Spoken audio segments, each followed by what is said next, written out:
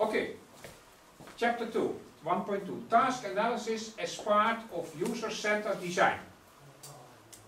Well, you find out that there are in fact many approaches on task analysis. There's a lot of literature on task analysis and, and, and you will find out that, that uh, they might differ but interestingly they all are about knowledge. Task analysis is analyzing knowledge. Analyzing knowledge of the people who perform a task, finding out whether the knowledge is adequate or not, and maybe in future improving the situation so that the knowledge is better, so that people can better understand. So task analysis, whatever book, whatever paper, whatever literature you find, it's always about knowledge. And, and, and, and these knowledge we will relate to a design process. If we find out that in the task knowledge there are issues, there are problems, this might be a good reason to improve the design.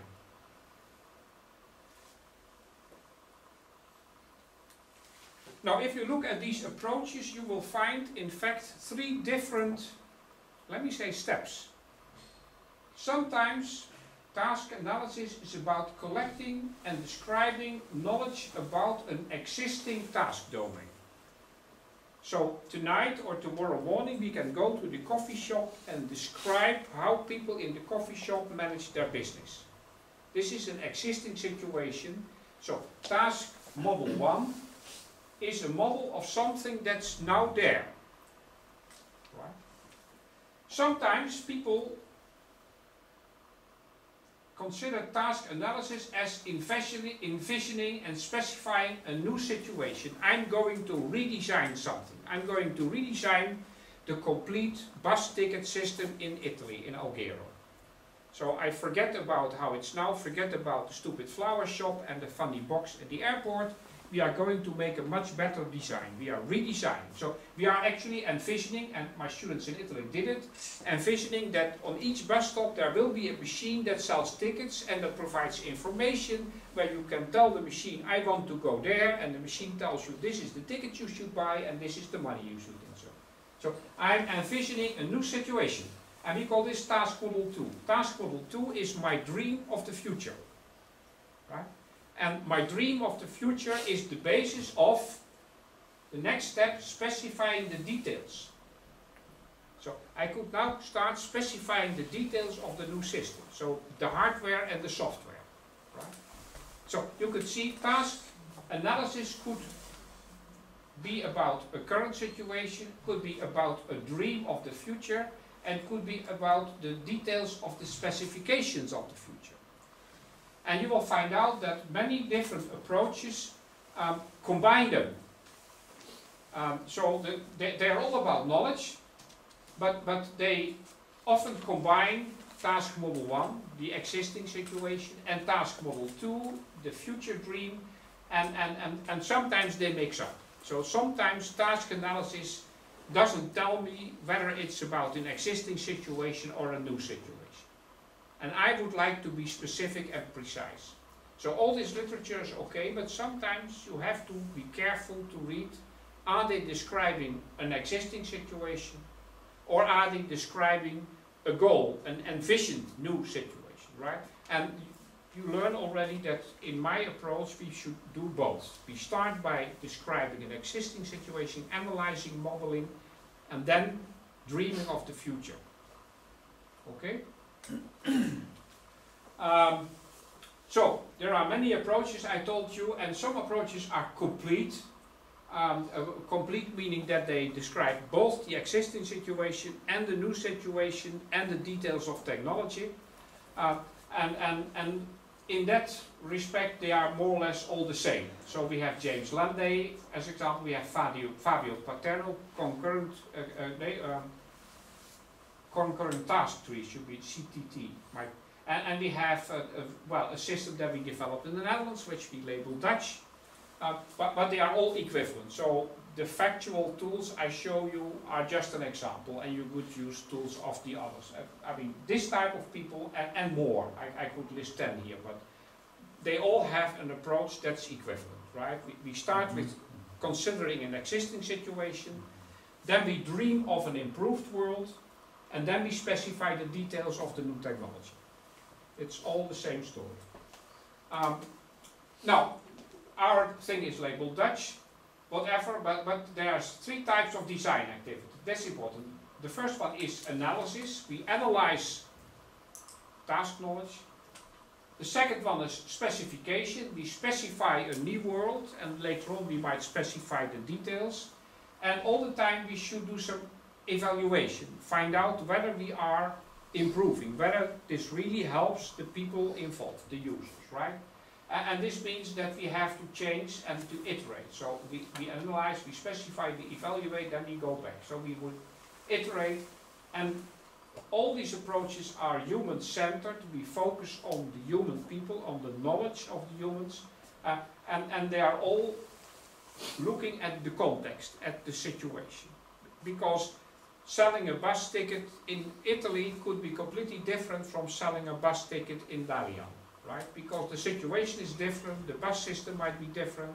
Uh, there are even towns, I'm not sure here, but there are towns where buses are free, well, then there's no bus ticket issue at all, right? So it really depends on the context.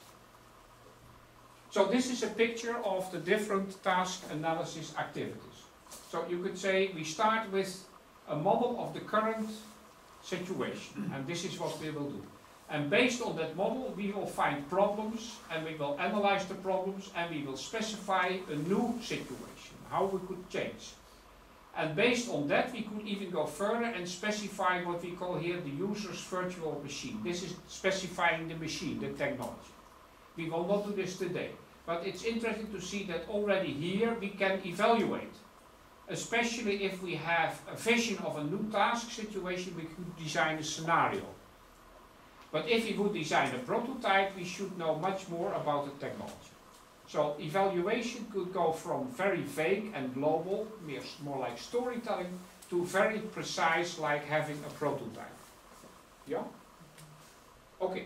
Uh, and obviously if we have this one, so if we have specified the technology and we have evaluated, then finally we could implement it, build it, and then we might start again, because now we have a system in place, we could reconsider task model zero. Okay?